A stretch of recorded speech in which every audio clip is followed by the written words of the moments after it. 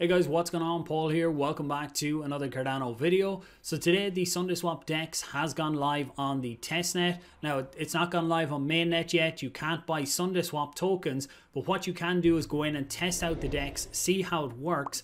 And for me, this is a really good milestone to get to because they had a lot of volume going through today.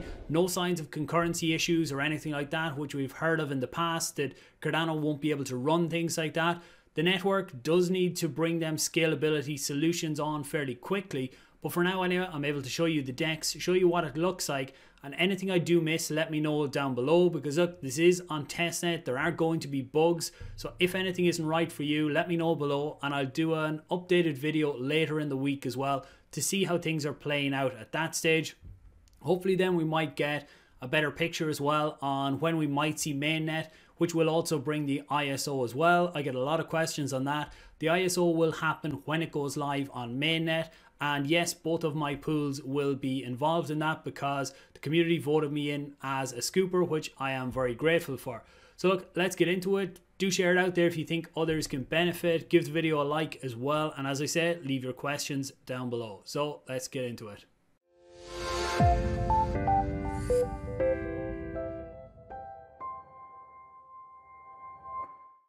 So this is what you see when you come onto the DEX first. Currently Nami is the only DApp enabled wallet that you can use. So Nami is over here and you can see I already have it installed. It's Nami, namiwallet.io. You can see it up here. I have the wallet already installed.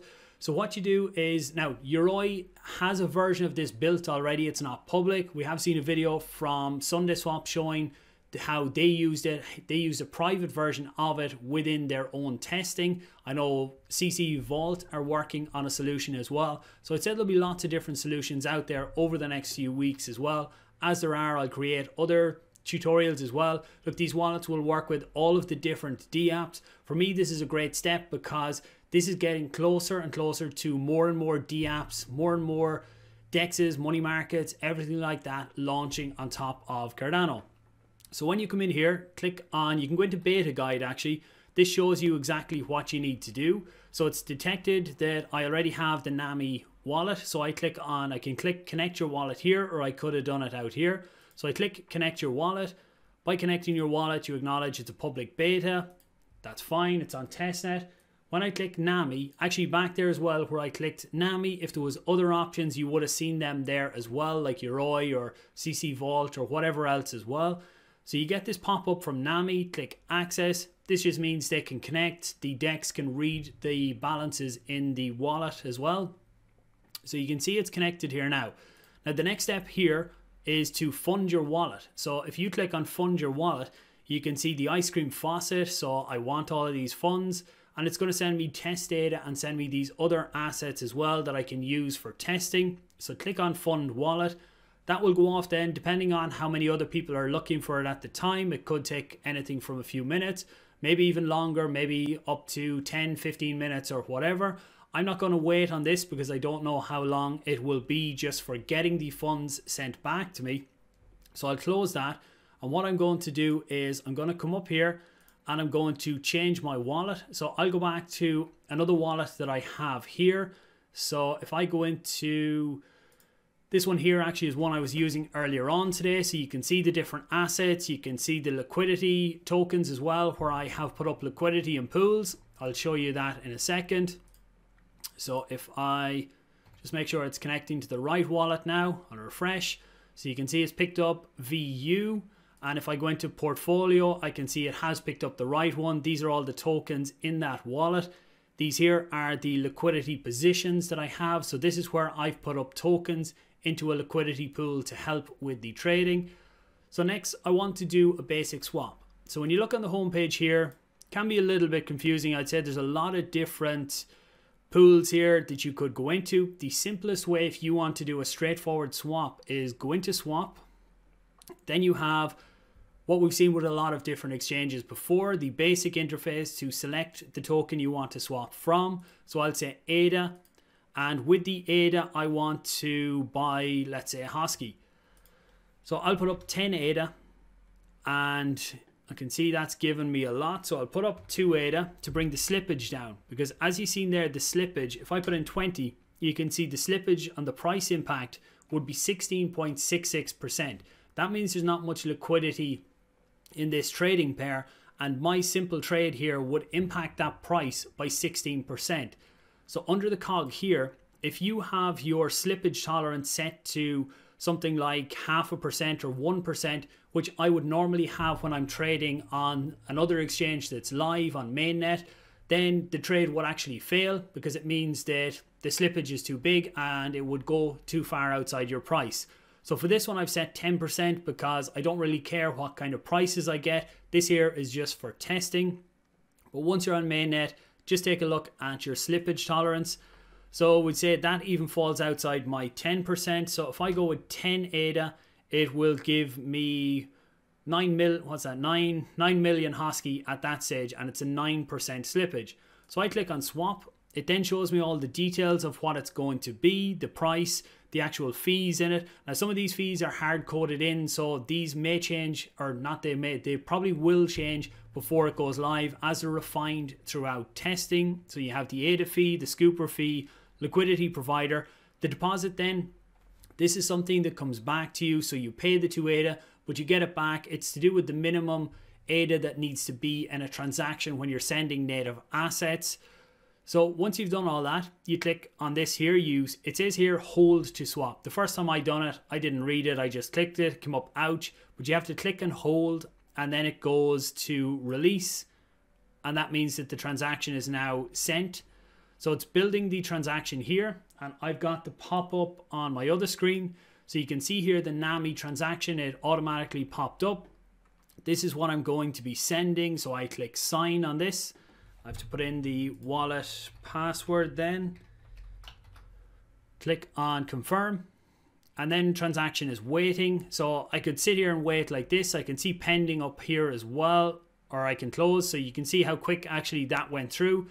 You can click here to see it on Cardano scan. But actually there's a small bug there. It takes you to the mainnet Cardano scan and not the testnet. So what I'll do is I'll close this. And I will actually go in here Actually, which wallet am I using? I'll just get the address of this wallet to show you that on the blockchain. So if I go over here to the testnet, put this wallet in, so you can see Cardano scan, you can check any transactions on the network. If I scroll down then, I can see, it's not that one, I'll refresh. It hasn't hit just yet. It will hit in a minute here. So actually while we're waiting just for that to hit, I'll just show you here. If I go back into transactions, I can see submitted. I can see pending here. So I'm swapping 10 ADA for Hosky and then failed. I don't have any failed on this wallet. So if I come back up here, it should be in there now. So I can see there the transaction that has just gone through a minute ago. You can see the 14.5 ADA, which we sent. Now it hasn't come back to me yet. And the reason for that is because right now, what happens when, when I send the transaction here, go back into transactions, I can see this in pending. So I could cancel this if I want. What has happened is I've sent that transaction into the smart contract. It is recorded on the blockchain. And what happens on the other end is the scoopers pick that up, process the transaction, and send me back the Hosky plus whatever ADA is left over then as well. So at the minute, the scooper is turned off as I'm recording this. So that means that the transaction won't be completed until they turn it back on. So it says here they notice if for people who've noticed transactions that are stuck in the queue, Scooper is currently offline while they make some improvements to it. Once that goes back online, then the transaction will be completed and they will send me my Hosky then. So on the Scooper, there will be 30 Scoopers involved in this. I will be one of them when it goes on to mainnet. Throughout testnet, we will be brought in bit by bit as they do testing, as they do improvements. For today, for when it went live first, they ran one scooper themselves. That's why there was a build-up of transactions. But once we get onto mainnet, you will see it will be a lot quicker because there will be more scoopers involved. Once they have it stable, everything working properly, that's when they'll start to onboard us at that stage.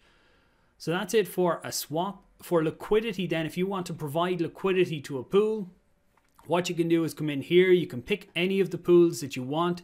So you could come in here, you could add liquidity into this pool if this is the one you want to do. you can see under positions up here, you can see these are the positions I added in earlier on. So this is where I added liquidity to these pools.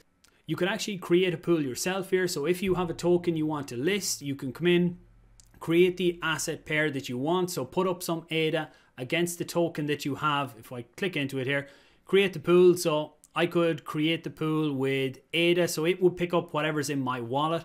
So I could create the pool for ADA. And then if I had another token, I could put it in there as well. I have these ones here, but I'm not going to create this pool.